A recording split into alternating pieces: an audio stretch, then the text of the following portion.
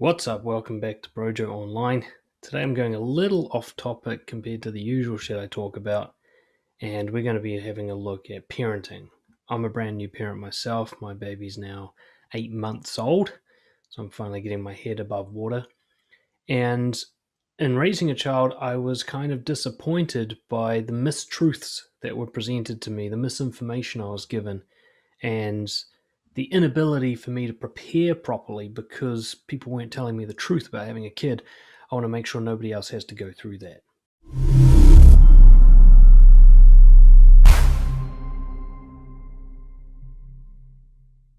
Now, let me get one thing clear right out of the gate. The upsides of having a kid, if you want one and you want to have a family, are beyond measure. I love her so much, and it's such a joy every day to watch her develop and see her personality come through and have fun with her. She brings out a playful side of me that's kind of been dormant for a while. I got too serious for a while, I guess. I could go on and on and on about how good it is to be a dad and to be a parent. But today's video is not about that. Today's video is about the stuff I wish people had warned me about before having a kid. It wouldn't have changed my mind, but I would have been better prepared and suffered less. So I'm going to share some of that stuff with you guys today. One thing I have to get out of the way first is that not everyone goes through the same experience, not by a long shot. The range of parenting goes from very easy and fun all the time through to nightmarish want to kill yourself. And sometimes this can happen to a single person. They can go through this entire range depending on the development of the kid. But in general, from what I've noticed and talking finally honestly with other parents, is that you generally find yourself anchored somewhere on the spectrum. So if you have a kid who sleeps really well and doesn't get sick and you've got lots of support, you're going to be on this easy end of the spectrum. Whereas if you've got like a colicky, sick kid and you've got no support and your relationship's not doing well and you're financially struggling, you're going to be down this other end of the spectrum. So it depends. It all depends. And that's one of the first things that the information out there doesn't really cover very well is it gives you these kind of generalizations. Your baby should be this by now, and your baby will always do that, and so on.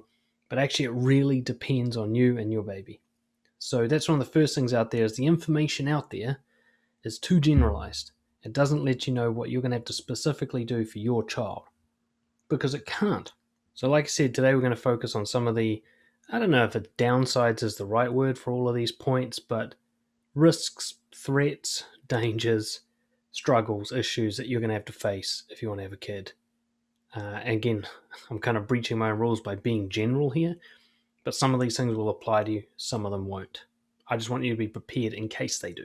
First and foremost, we've got to talk about before the child is born miscarriage. One of society's dark secrets is how often miscarriage happens. You don't hear about it very often.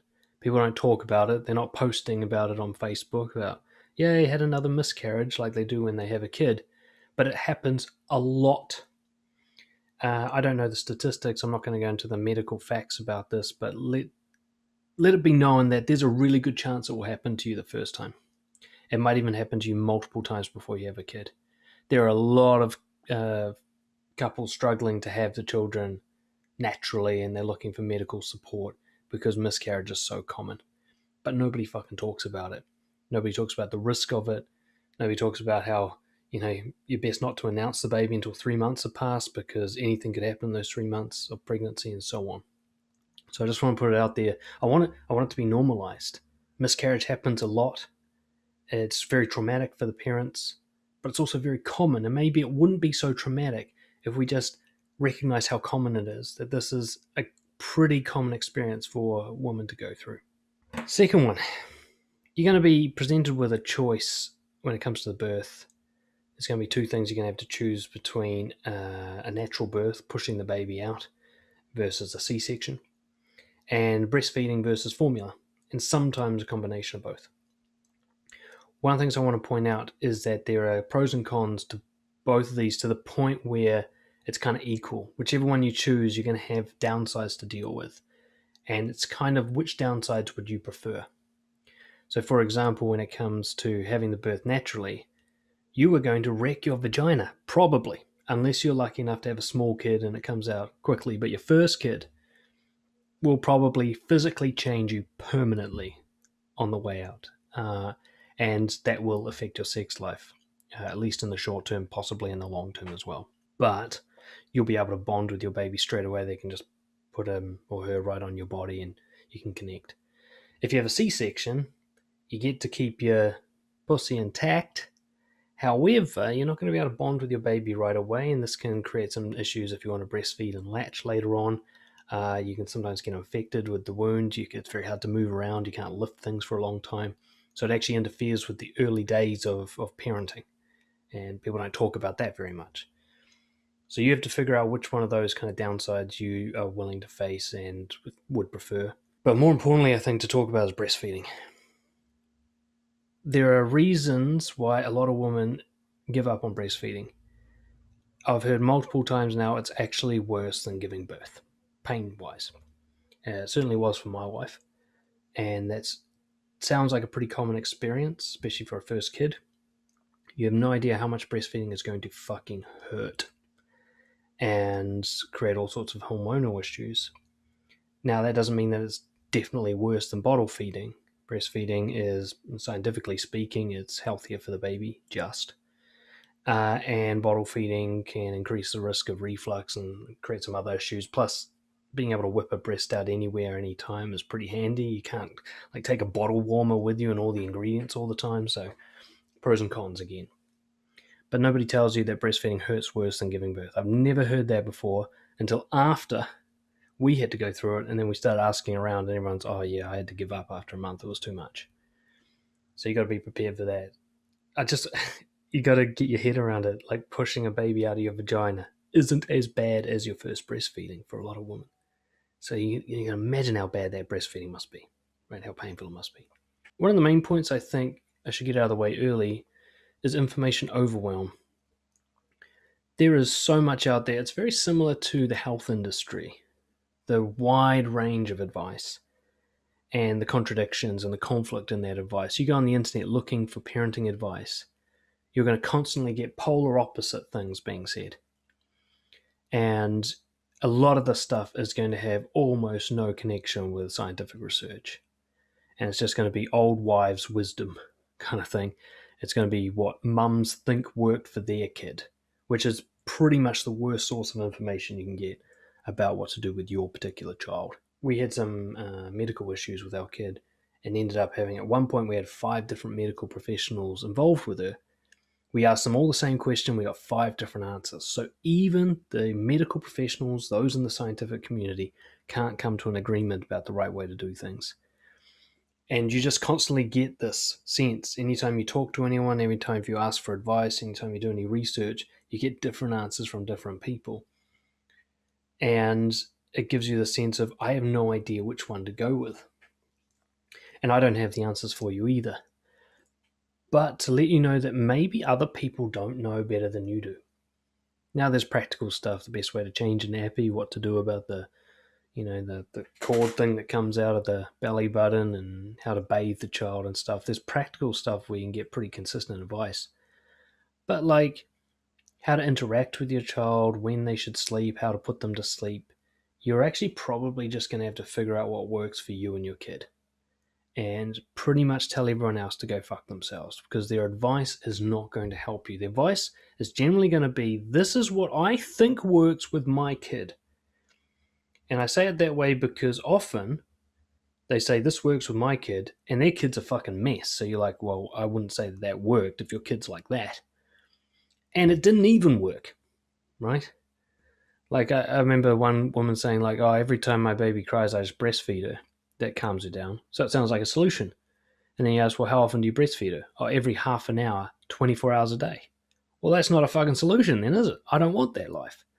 So you really have to sort of back yourself that your natural instincts around parenting, both for the guy and the girl, are probably going to be a better resource than everybody else's ideas. Another one that will overwhelm you is false positivity from other parents. This is really the key to this video is that other parents aren't fucking honest about how hard this is. It's as simple as that. They put on their makeup and their nice clothes and they go for a walk with the you know, the baby in the buggy and you ask them, how's it going? They're, oh, pretty well, you know, everything's going all right. And you think that they're not lying. When actually a vast majority of the time they're absolutely lying. Behind the scenes at home, they are going through an absolute nightmare. Okay, in fact, I found generally the better the kind of front facing presentation, the more forced and kind of people pleasing that seems, the worse it is behind the scenes. But that's also mixed up with some people who are genuinely having a good, easy time because some babies are really easy to work with. And it's hard to know the difference. But I've been investigating this pretty hard from parents all over the world. You know, I have a way of kind of getting people to open up to me and tell me the truth about things. And what I'm seeing generally is that a vast majority of parents are secretly struggling, way more than they let it no one on the outside. Their relationships are falling apart. They don't know what they're doing with the kid. They're sleep deprived. They're financially and having problems. But that's not what they tell anyone. That's not what they show to the world. And the number one thing that they seem to all have in common is they don't really know what the fuck they're doing. One way to look at it is like, are you sure? Are you sure parents are really struggling that much? Look how many adults you know who complain about the way they were raised, right? Whose parents got it wrong. Look at just look out there in the world and think how many parents are doing a less than ideal job. The answer's got to be if you understand anything about psychology and the the prevalent rates of depression and anxiety and, and struggles that people are going through as teenagers and adults, you'd have to come to the conclusion look, a lot of parents are dropping the ball. Probably a majority of them are doing a less than adequate job of parenting. So if you take that into account, that isn't them being bad people. It's them struggling so much they can't even do like the finer stuff when it comes to connecting with a kid, helping them build confidence, whatever. They're just trying to survive. And that often leads to, you know, like people who use the Ferber method, they just let their kid cry to sleep. You know, the studies show that that is a very traumatic thing to do to a kid. It wrecks your connection with them. It looks like it works, like, yeah, he's sleeping. But what you don't realize is like, yeah, he's detaching from you permanently, emotionally. You know, but they have to resort to this because they're at the end of their rope. They they don't have the resources to do any better than this. But you're not going to see that. Very few parents are going to be honest with you about what happens behind the scenes. I think they have a kind of shame and guilt about not being mm-hmm. strong enough without realizing that we do things wrong, especially in the West, when it comes to parenting, because we only have one or two parents raise a kid. That's fucking stupid. A kid is way more work than two people. Okay, especially if one of them is working. Really, it, it, a child needs a whole tribe, but very few people have a whole tribe to raise, raise a child with. I'm surprised how many people don't even have supportive grandparents and stuff like that. I, that, that number is way higher. We're, we're in that category ourselves. We have very little outside support. It's just me and Lucy, basically, with a few little bits and pieces here and there, but not enough. And that's the story for a lot of people. Okay, so a lot of people are struggling way more than they let on. And if you just understand that and know that truth, you're going to feel a lot less guilty about your own struggles, which will reduce the pressure and stress you're feeling and open your mind to kind of support you might feel a bit ashamed getting, like paying for a nanny or a babysitter or you know, asking someone to cook meals for you. Understand that actually, if you don't do that, you're going to be a worse parent. So do it for your kid. Put your shame away. Now, one of the things that people generally are a bit honest about is sleep deprivation, but they're not honest about how bad it is. You've had a few nights bad sleep before in your life. Maybe you've had periods of having some sort of insomnia in your life or anxiety based sleep disorder. So you think you know. You think you know what you're getting into when you have a kid. I'm telling you right now, if you have a bad sleeper, and a lot of kids struggle to sleep, like even the best kids get up three times a night. Do you know what I mean? But if you have a bad sleeper, if you have a kid who wakes up six, seven, eight times a night and wakes you up, and some of those times you've got to be up for an hour and a half trying to get the kid back to sleep. If you have that for months and months and months without a break, you have no idea how hard that is. Sleep deprivation, you know, I, I heard one of my friends has a Navy SEAL as a friend, and he said the Navy SEAL uh, claimed that having the sleep deprivation, the sleep deprivation of having a kid, was worse than Navy SEALs Hell Week, than getting into the SEALs itself. You know, he said he would rather go through that than go again through the sleep deprivation he had from having a child. That's how bad it is. You know, our kid was a pretty rough sleeper. She's slowly getting on top of that, but six, seven times a night waking up, with two or three of those times, well, three or four of those times being feedings. The feedings take longer than you think they might. They require you to be fully awake. And if, like in our case, if the mother has like physical issues, especially at the start, the guy's going to have to get up and do all the lifting and stuff like that. So both parents have to be fully awake. And when this goes on for months and months and months, you start losing your memory. You can't think properly. It's very hard to make decisions. You start becoming very timid around your decision making. Um, problem solving kind of goes out the window. You're way more irritable, way more likely to take things personally and get into arguments over little bullshit things. And you get you just feel like you're kind of drowning, like you can't get ahead you're just like trying to get through each day. You start developing anxiety about sleeping. Like if you're taking her for a nap and she's not going down, you start thinking, fuck, she's not going to sleep properly tonight. And that kind of wrecks the rest of your afternoon. And nobody talks about that level of sleep deprivation. They'll say, oh, no, you're going to struggle to sleep. But they don't really let you know how bad it is, how your mental health and physical health are affected by it. It, it might be the worst experience you ever go through in your life there's a really good chance, unless you've had some horrendous stuff happen to you in your childhood or whatever, that your baby not sleeping is going to be the worst thing that ever happens to you. So you got to be prepared for that. And there are ways to like work around that if you're prepared for it. If you're not, you know, after a few months you're going to be like, "Holy shit, I don't know if I can survive this." And yet you have to. And it might even go for years. Some kids like they just don't figure out sleeping for a very long time. And it's going to be further kicked in the teeth when other parents talk about how easy their kid sleeps, lies about how easy their kid sleeps, you know, and you're going to just feel like you're a failure when reality, babies just struggle to sleep in general. One of the weird things nobody told me about back pain, severe back pain. It takes a while to get used to carrying a baby. They look light until you have to carry them for hours and hours on end in weird positions and you have to rock them and bounce them to sleep sometimes. And you get to a point where you're like, oh my God, my spine really hurts. And you start developing all these weird other injuries if you're not prepared.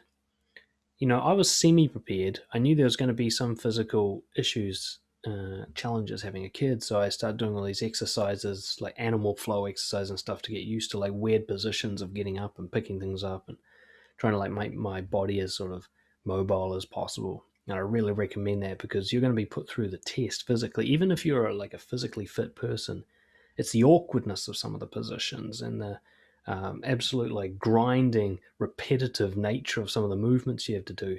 You're going to be really at risk of injury. Um, so you need to be prepared for that. Emotional confusion. That's going to be constant. But one of the weird ones is you're going to wonder whether or not you love your kid. Again, one of those ones that nobody talks about.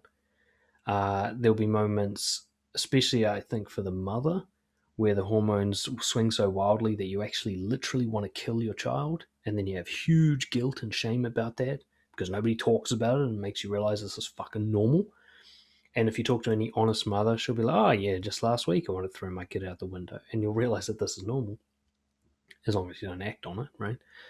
Um, but it's the same. Eh, I think in a different way for the guy you know, for me, I was kind of like, I, I don't know.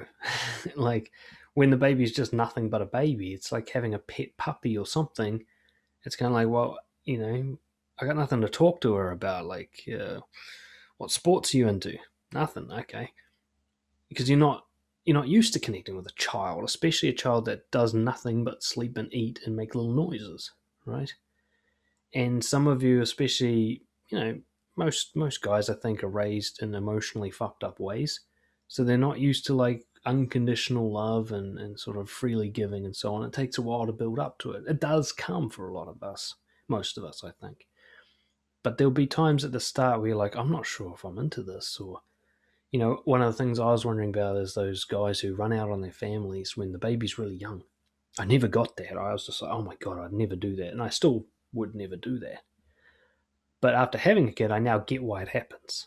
Like, if you have a kid who's that much of a struggle to deal with physically and emotionally, and you don't really feel connected to the kid, and you have problems with your partner, and you're just like dying to have your life back, I can see how a weaker man might bail. I, I get it now. I'm, I'm not that uh, confused by it because it really is that hard. Uh, a lot of things that the guys don't talk about is within the first year of, of having a baby, a lot of guys get suicidal. They don't talk about it, they don't act on it necessarily, but they really get to the point where they just want it all to end because it's so hard. Again, nobody talks about that. So, be prepared to want to die, basically. And and if you are prepared for it, maybe it won't hurt you so much. You'll just be like, oh yeah, that's that thing that Dan said. You know, you're gonna want to kill yourself. Maybe I just got to get through this week, and that feeling will go away. And it does, for the most part. But you got to talk about it. You got to be honest with each other about the things that you're going through, all the darkness. The the mother's got to say, you know, today I wanted to smother her with a pillow. I was actually like holding the pillow, and the dad's got to say, well. It's funny you say that because I wanted to jump in front of a fucking bus yesterday you know, you're not going to do it.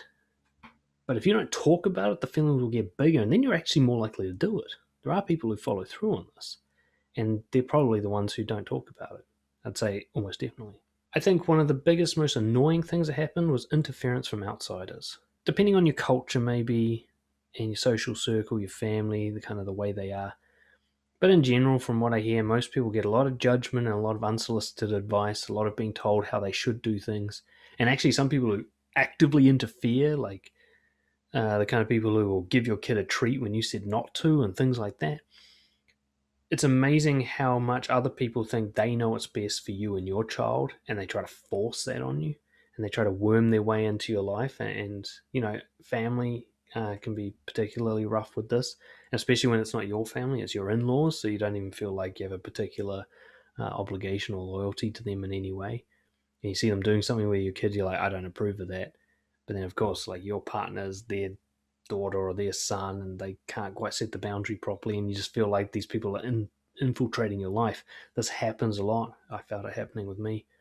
Um, and you just get this urge to just swing a club around and just say, fuck off, please.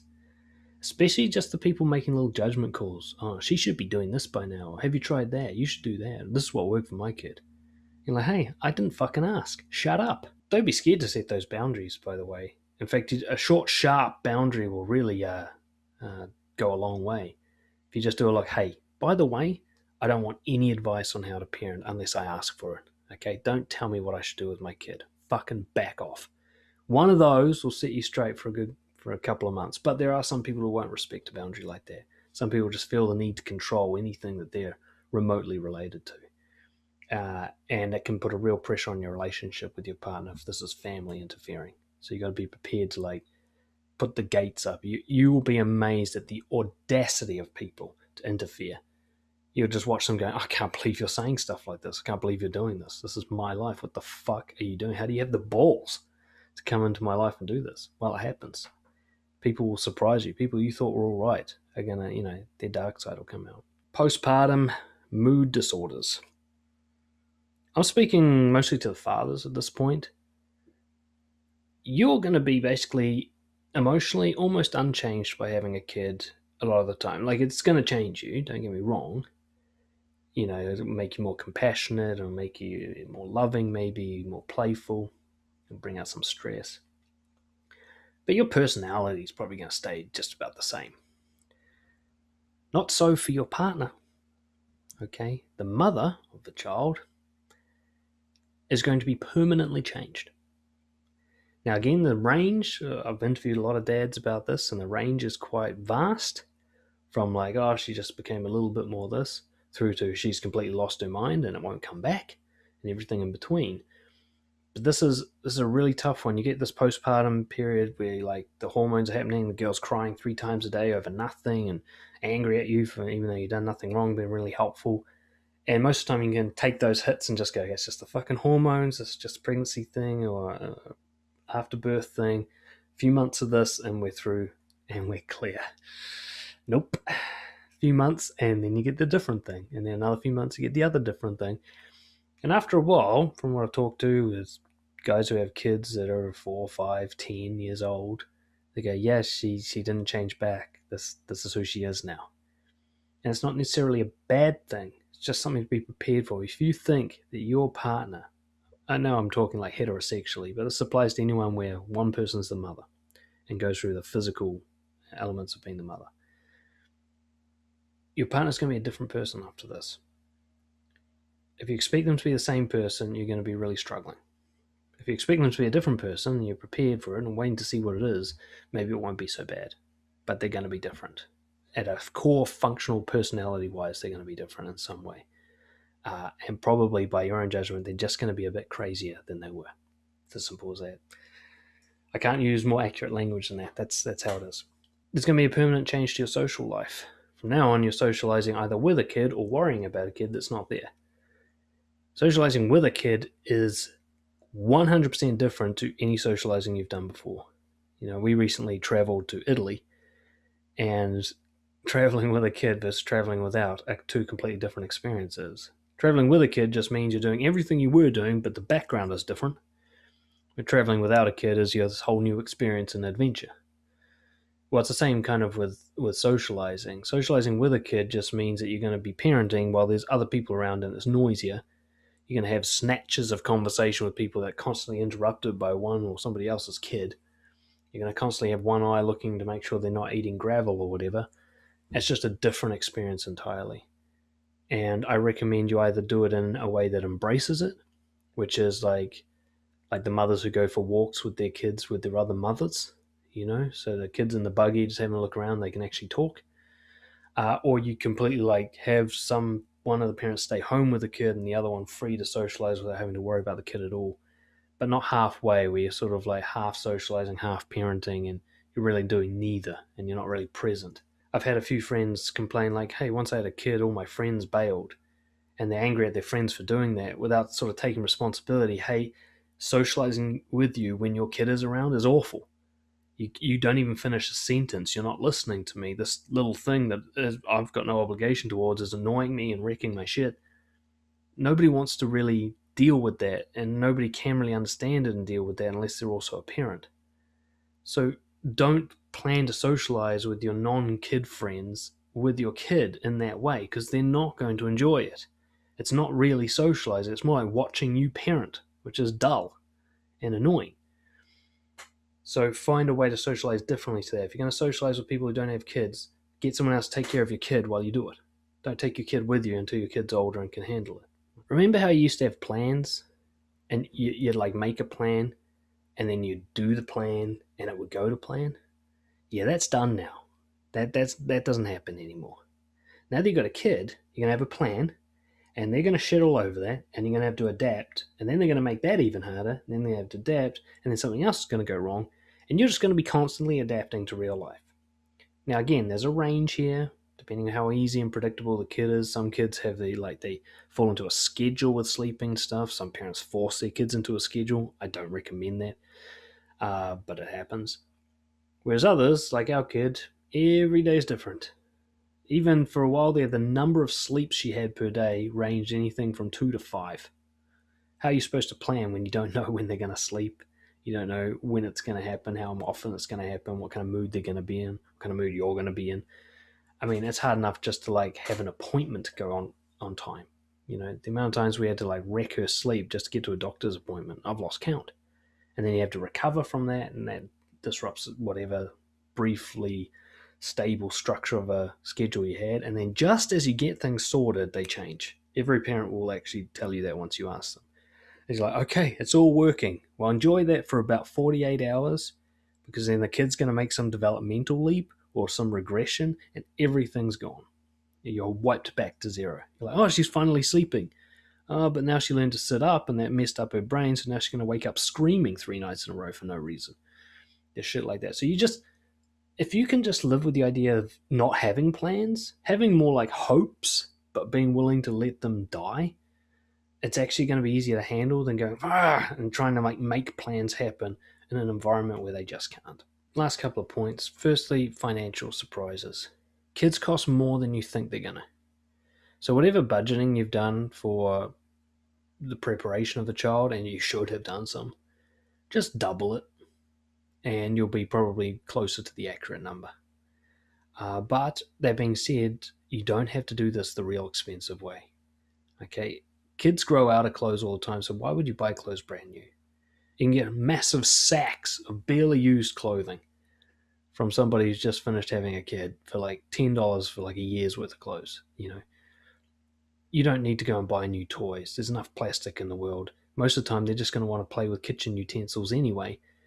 So you don't have to waste heaps of money on toys, and you don't have to let other people buy them toys and so on. And actually, they need very little stimulation to develop their brain, and so on and so forth. So you can actually save a lot of money compared to what you're prepared to pay, but you just have to be willing to do things kind of second rate, knowing that it doesn't actually affect the kid in a negative way, and it's the better option but be prepared for this to cost way more than you thought.